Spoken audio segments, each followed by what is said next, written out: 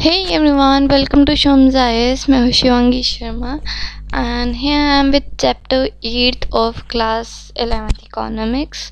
So the class 11 the la- uh, the 8th chapter is infrastructure so in this chapter we're going to study basically about the main challenges that india is facing and faces in the area of social and economic infrastructure and the role of infrastructure in economic development role of energy as well problem and prospects of energy and health sector and health infrastructure of india है these are the basic things we are which we are going to study in the chapter so let us start with introduction so introduction says कि क्यों पंजाब हरियाणा और हिमाचल प्रदेश जैसे states में agriculture और horticulture में काफ़ी increment है whether in states like Maharashtra and Gujarat they are advanced in some industrially products and why is kerala known as the goat's own country with the excellent with the excelled in literacy healthcare sanitization and also attracts tourism in a large number ठीक है उसके अलावा it says that Karnataka why does Karnataka's information technology attracts the whole world the basic reason behind it is infrastructure India की अलग अलग country में अलग अलग चीज़ों के लिए बेसिक बेटर इंफ्रास्ट्रक्चर अवेलेबल है, ठीक है? कुछ जगह पे irrigation facilities where transport facilities in other कहीं ना कहीं नई नियर पोर्ट नियर पोर्ट्स काफ़ी पास है, जिससे भी हम लोगों को एक पता चलता है कि कैसे द इंफ्रास्ट्रक्चर की वजह से कैसे कैसे डेवलपमेंट देखने को मिलता है, ठीक है? What is infrastructure infrastructure provides the supporting service ठीक है? इंफ्रास्ट्रक्चर एक सपोर्टिंग सर्विस है जो कि बड़े इंडस्ट्रियल और एग्रीकल्चर प्रोडक्शन में एक बेस बन करके आता है, ठीक है? फॉरेन ट्रेड हो कॉमर्स हो डोमेस्टिक ट्रेड हो, कोई भी चीज़ हो, उसके लिए एक बेसिक नीचे से हमें बेस चाहिए which is known which is known as infrastructure ठीक है? लाइक एजुकेशन सिस्टम हो गया health system monetary system these these all are basic form of infrastructure ठीक है telecommunication gas pipes everything is infrastructure ठीक है? Some divide infrastructure into two categories ठीक है? विच इकोनॉमिक एंड सोशल ठीक है इंफ्रास्ट्रक्चर को दो टाइप्स में डिवाइड कर देते हैं which is economic and social relevance of infrastructure ठीक है? जैसे मैंने आपको बताया कि इंफ्रास्ट्रक्चर एक सपोर्ट सिस्टम है हमारी हमारी इंडस्ट्री के लिए। कोई भी इकोनॉमी है, जो मतलब जो मॉडर्न इंडस्ट्रियल इकोनॉमी है ना, उसके लिए नीचे का बेस है, जो नीचे का फाउंडेशन है that is that is infrastructure ठीक है? बिकॉज़ मॉडर्न एग्री uh, आज के टाइम पे the modern agriculture is also largely dependent on infrastructure because we need a large you know we need large scale of transport for seeds pesticide fertiliser as well as technology for you know irrigation of the irrigation of the crops उसके लिए भी हमें transport की uh, sorry infrastructure की ज़रूरत है, ठीक है? उसके बाद एग्रीकल्चर कहीं ना कहीं इंश्योरेंस और बैंकिंग फैसिलिटी से भी ज़्यादा अब ज़रूरत पड़ रही है। जब से लोगों ने अब बैंक अकाउंट भी खोलने शुरू कर दिए तो पिछड़े हुए लोग हैं।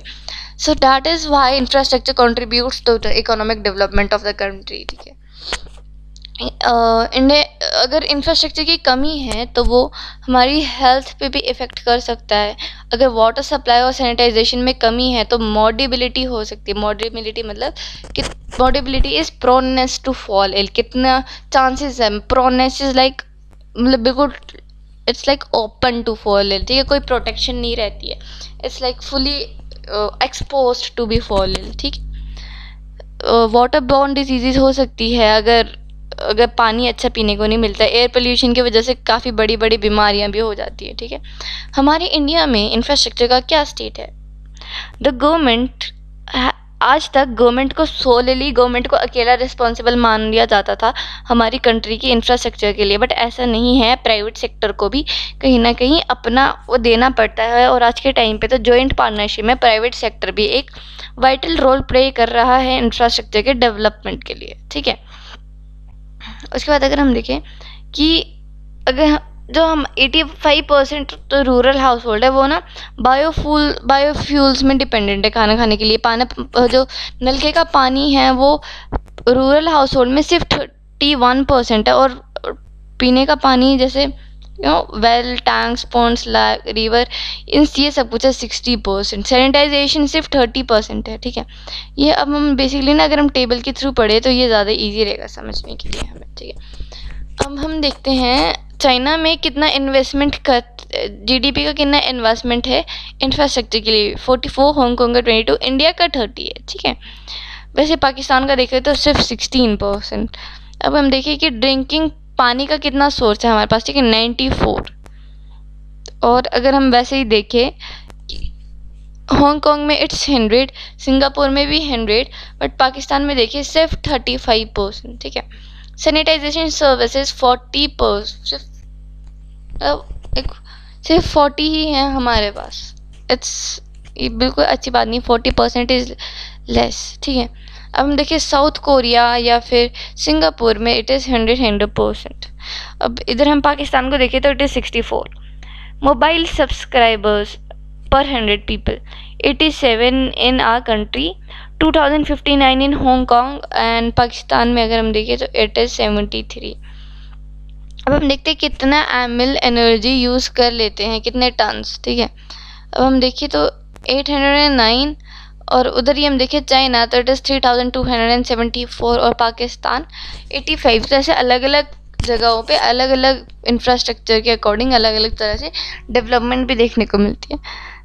सो so, अब हम देखें कि अभी भी हमारे इंफ्रास्ट्रक्चर के डेवलपमेंट में एक बेसिक एक अटेंशन नहीं है प्रॉपर अटेंशन अगर होती तो हमारी काफ़ी अच्छी काफ़ी अच्छी सिचुएशन होती है अभी हमारी, ठीक है? एनर्जी एनर्जी क्या होती है? एनर्जी एक बहुत ही क्रिटिकल एस्पेक्ट है किसी भी कंट्री के डेवलपमेंट प्रोसेस के लिए। क्योंकि हर घर में कोई भी घर हो, उसमें एनर्जी की ज़रूरत तो पड़ती ही पड़ती है, ठीक है? फिर चाहे वो हीटिंग हो लाइटनिंग हो कुकिंग हो, किसी भी तरह की, एक नॉर्मल हाउस होल्ड में ये एनर्जी की बहुत ज़रूरत पड़ती है, ठीक है? Sources of sources of energy energy commercial और नॉन कमर्शियल दोनों सोर्स में मिलती है। कमर्शियल होता है, जैसे कोल पेट्रोलियम एंड इलेक्ट्रिसिटी और नॉन कमर्शियल सोर्स में हम देखें तो fuel wood agricultural waste and dried dung ठीक है?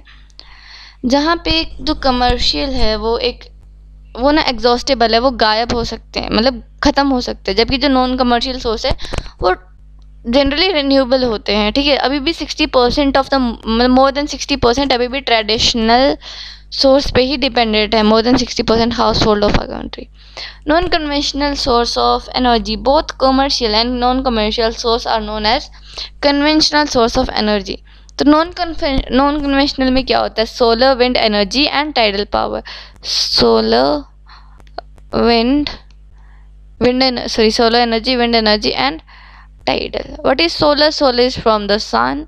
Wind is from the air and tidal is tidal is from the water. है? ऑलमोस्ट um, इन तीनों से हमारे पास ऑलमोस्ट अनलिमिटेड पोटेंशियल है। हम इन तीनों की चीज़ों की मदद से ऑलमोस्ट अनलिमिटेड एनर्जी प्रोड्यूस कर सकते हैं ठीक है? कंजप्शन पैटर्न हमारी कंजप्शन uh, पैटर्न क्या है? हमारा ठीक है, कैसे हम कंजप्शन करते हैं will study it through a graph अगर हम देखें कि कितनी एनर्जी का कंजप्शन होता है परसेंटेज में तो हाउस होल्ड में ये भी 1953-54 में किसी भी पर्टिकुलर हाउस में 10 percent of the energy use हो जाती थी, ठीक है? और अगर हम अभी के टाइम पे देखें तो 24 परसेंट हो जाती है। एग्रीकल्चर में ज़ीरो पॉइंट वन और अभी है एटीन परसेंट, ठीक है? इंडस्ट्रीज़ में फोर्टी परसेंट और अभी है फोर्टी टू परसेंट। ट्रांसपोर्ट में उस टाइम होता था forty four percent, but seventeen eighteen में सिर्फ़ one percent. Others five percent and fifteen percent, ठीक है? पावर और इलेक्ट्रिसिटी, जो सबसे ज़्यादा विजिबल फॉर्म ऑफ़ एनर्जी है डैट इज़ पावर, जिसको हम इलेक्ट्रिसिटी भी बोलते हैं, ठीक है? सो जैसे जीडीपी की ग्रोथ मतलब हमारी जो डिमांड है, वो डिमांड जीडीपी की ग्रोथ से ज़्यादा है। हमें अराउंड जीडीपी का एट परसेंट मिलता है पर एनम ग्रोथ के लिए बट हमें अराउंड ट्वेल्व परसेंट की ज़रूरत है एनुअली ठीक है? फिर जो थर्मल सोर्स है, वो एटी टू परसेंट का कैपेसिटी जनरेट कर सकती है। Hydel power eight point five percent with nuclear power account for only two point five percent तो ज़्यादातर थर्मल ही है which is eighty two percent ठीक है? फिर ये जो इंडिया की एनर्जी एनर्जी पॉलिसी है, वो तीन एनर्जी सोर्सेज को इंक्रीज इनक्रेज करती है solar hydel solar hydel and wind जो क्योंकि ये फोसल फ्यूल पे यू नो फिसल फ्यूल पर नहीं रिलाई करते और इनमें कार्बन इमिशंस भी वो होता है, ठीक है? तो यहाँ पे सेम ग्राफ है विच इज़ देखो, ये है हमारा सारा थर्मल और this one is nuclear this one is new and renewable energy and this one is hydro ठीक है? Some challenges in the power sector power sector में क्या क्या एनर्जी है सॉरी पावर सेक्टर में क्या क्या चैलेंजेस हैं? Electricity generated by various power station is not consumed हाँ जो भी हमारी, हम पावर जनरेट करते हैं, ज़रूरी नहीं है वो सारी की सारी एक अल्टीमेट कंज्यूमर के पास कंज्यूम हो जाए, कहीं ना कहीं पावर स्टेशन भी इसको काफ़ी कंज्यूम करता है, ठीक है? तो जो जो चैलेंजेस है बेसिकली वो हम पढ़ लेते हैं विच इज़ इंडिया के पास इतनी कैपेसिटी नहीं है कि वो सफिशेंट एनर्जी जनरेट कर सके ताकि हाई इकोनॉमिक ग्रोथ हो। सेकेंडली हमारी जो इलेक्ट्रिसिटी बोर्ड है state electricity board S E B ये डिस्ट्रीब्यूट करती है इलेक्ट्रिसिटी जिसमें हमारा लॉस होता है टू ट्वेंटी थाउज़ेंड करोड़ का, ठीक है? ये इसलिए है क्योंकि कहीं ना कहीं हमें एक लॉसेस होता है रॉन्ग प्राइसेस है इलेक्ट्रिसिटी के और काफ़ी अदर इनफिशेंसीज भी हैं, ठीक है? उसके अलावा जो प्राइवेट सेक्टर है, वो प्राइवेट सेक्टर का जो पावर जनरेटर है, वो अभी इतना राइट वाइटल रोल नहीं प्ले कर पा रहा, ठीक है? और फॉरेन इन्वेस्टमेंट इन्वेस्टमेंट इन्वेस्टर्स के साथ भी सेम ही प्रॉब्लम है। There is generally public unrest due to high power tariff power tariff है कट लग जाते हैं, इसकी वजह से भी पब्लिक का भी थोड़ा एक अनरेस्ट है। तो और उसके अलावा थर्मल जो पावर प्लांट्स है, जो मिनिस्ट्री है, उसका भी इतना कुछ बड़ा कंट्रीब्यूशन नहीं आ रहा है, ठीक है? हेल्थ हेल्थ क्या है? हेल्थ ये नहीं है कि डिज़ीज़ की एब्सेंस है, जबकि क्या पोटेंशियल है किसी भी पर्सन का काम करने का? डेट इज़ हेल्थ ठीक है? हेल्थ जो अगर हेल्थ इंफ्रास्ट्रक्चर में इंक्रीमेंट होगी तो किसी भी पर्सन की जो मैन पावर है, वो भी इंक्रीज़ होगी, ठीक है? स्कॉलर्स ये बोलते हैं कि हेल्थ केयर फैसिलिटीज़ को और ज़रूरी है, उसको और एंटाइटल करना, और ये रिस्पॉन्सिबिलिटी बनती है गवर्नमेंट की, ताकि वो हमें, हमारे पास है, हक है कि हम हेल्दी लिविंग रहे तो हेल्थ इंफ्रास्ट्रक्चर में भी ज़्यादा डालने की ज़रूरत है। तो यहाँ पे हम ग्राफ पढ़ लेते हैं, हमारा पूरा कवर हो जाएगा कि क्या स्टेट है। देखिए तो हॉस्पिटल्स हैं हमारे पास two thousand six hundred forty nine nineteen fifty one में अभी है twenty five thousand seven seven eight beds जो गवर्नमेंट बेड्स है date is seven lakh thirteen thousand nine hundred and eighty six dispensary is twenty seven thousand nine hundred fifty one P H Cs is twenty five thousand seven hundred forty three जो sub centres है वो है one lakh fifty eight thousand four hundred and seventeen और जो C है वो है five thousand six hundred and twenty four private sector जो है, वो भी कहीं ना कहीं ग्रोथ काफ़ी बड़ी ग्रोथ है, क्योंकि जो रिपोर्ट बताती है कि seventy percent of the hospitals are owned by private sector ठीक है? वो एटी परसेंट जो उसकी मतलब वो ज़्यादातर जो प्रोवाइड हेल्थ हेल्थ प्रोवाइड करते हैं उसमें से एटी परसेंट आउट पेशेंट्स होते हैं और forty six percent in patients होते हैं। ठीक है? सो so, यहाँ पे हम देख लेते हैं कि हमारा इंडिकेटर क्या है हेल्थ का कि कैसे हमारी कंट्री और चाइना बाकी कंट्री से कंपेयर करके। ठीक है? इन्फेंट मोर्टेलिटी रेट क्या होता है? मैं ऑलरेडी डिस्कस कर चुकी है थाउज़ेंड लाइव बर्थ थर्टी थी थर्टी लाइव बर्थ है। Under five mortality is thirty seven मतलब पाँच साल के अंदर। Birth by skilled attendance eighty one eighty one ninety nine बाकी कंट्री से भी कंपेयर करते रहना इन चीज़ों को। उसके बाद infant immunize D T P percent twenty sixteen eighty nine percent eighty nine percent ninety four ninety nine ठीक है? गवर्नमेंट हेल्थ स्पेंडिंग आप कितना परसेंटेज जी डी पी से? Three point seven five point seven seventeen देखो U S A कितना बड़ा contribution दे रहा है। ठीक है? उसके बाद out of the pocket expenditure by current health expenditure ठीक है? Sixty five thirty six eleven point one और फिफ्टी ठीक है? Indian system of medicine I A S M हम सिक्स सिस्टम बेसिकली इंक्लूड करते हैं, जिसमें आयुर्वेदा योगा यू यूनानी सिद्धा और नेट्रोपैथी एंड होम्योपैथी होम्योपैथी होती है, ठीक है? आयुष इसको हम बोलते हैं, ठीक? इंडिकेटर्स ऑफ़ हेल्थ इंफ्रास्ट्रक्चर और क्रिटिकल अप्रेजल एक क्रिटिकल अप्रेजल है ये। ये हम ऑलरेडी डिस्कस कर चुके हैं एट पॉइंट फोर में कि क्या क्रिटिक क्या है हमारी सिचुएशन ठीक है? 2030 में बताता है कि हमारा जो 230 है जे का, उसे हम, जिसको हम टोटल बर्डन ऑफ़ डिज़ीज़ भी बोलते हैं नॉन कम्युनिकेशनेबल डिज़ीज़ जिसमें heart respiratory lung kidney obesity और लाइफस्टाइल की बीमारियाँ देखने को मिलती है, ठीक है? अर्बन रूरल और पुअर रिच डिवाइड अगर हम देखें तो सेवेंटी परसेंट जो लोग हैं, वो रूरल एरियाज़ में हैं और उनमें से सिर्फ़ वन फिफ्थ ही हॉस्पिटल्स अवेलेबल हैं उन जगहों पे, ठीक है? रूरल एरियाज़ में मतलब और रूरल एरियाज़ में डिस्पेंसरीज का भी आधा नंबर ही है हॉस्पिटल्स ठीक है? तो ऐसे रूरल एरिया में रफली थर्टी परसेंट जो है वो बेड्स अवेलेबल है सिर्फ़। कुछ स्टेट्स हैं जो अभी भी बहुत पीछे हैं, जैसे स्टेट लाइक बिहार, मध्य प्रदेश, राजस्थान, उत्तर राजस्थान, उत्तर प्रदेश इन ये काफ़ी पीछे रह गए हैं in in the field of health ठीक है?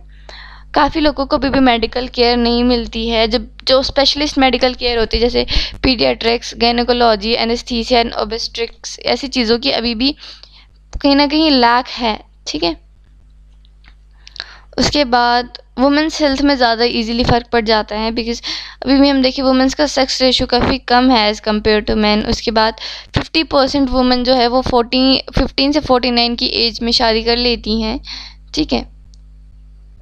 उसके अलावा जो है मतलब ये टू थाउज़ेंड फाइव से कभी डिक्लाइन हुआ ही नहीं। उसके बाद हेल्थ एक पब्लिक एक वाइटल पब्लिक गुड है, जो चाहिए चाहिए और हमारा राइट भी है, और वुमेंस को काफ़ी प्रॉब्लम्स इजीली कैच हो जाती हैं, ठीक है?